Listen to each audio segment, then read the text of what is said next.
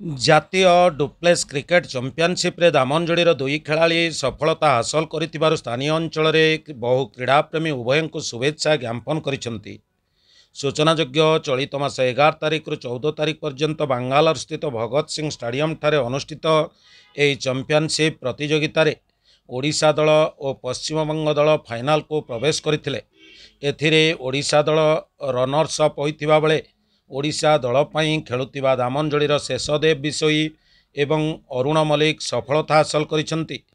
ଶେଷଦେବ ବ୍ୟକ୍ତିଗତ ଭାବେ ଦୁଇଶହ ପଇଁଚାଳିଶ ରନ୍ କରିଥିବା ବେଳେ ନଅ ୱିକେଟ୍ ହାସଲ କରି ମ୍ୟାନ୍ ଅଫ୍ ଦି ସିରିଜ୍ ହୋଇଥିବା ବେଳେ ପଚିଶଟି ବଲ୍ରୁ ଅଠାନବେ ରନ୍ ସଂଗ୍ରହ କରି ରେକର୍ଡ କରିଛନ୍ତି। ସେହିପରି ଅରୁଣ ବ୍ୟକ୍ତିଗତ ଭାବେ ପଞ୍ଚଷଠି ରନ୍ ସହ ପାଞ୍ଚ ୱିକେଟ୍ ହାସଲ କରିଛନ୍ତି ଉଭୟ ଖେଳାଳିଙ୍କୁ ଦାମନଯୋଡ଼ି ତଥା ଅବିଭକ୍ତ କୋରାପୁଟ ଜିଲ୍ଲାର ବହୁ କ୍ରୀଡ଼ାପ୍ରେମୀମାନେ ଶୁଭେଚ୍ଛା ଓ ଅଭିନନ୍ଦନ ଜଣାଇଛନ୍ତି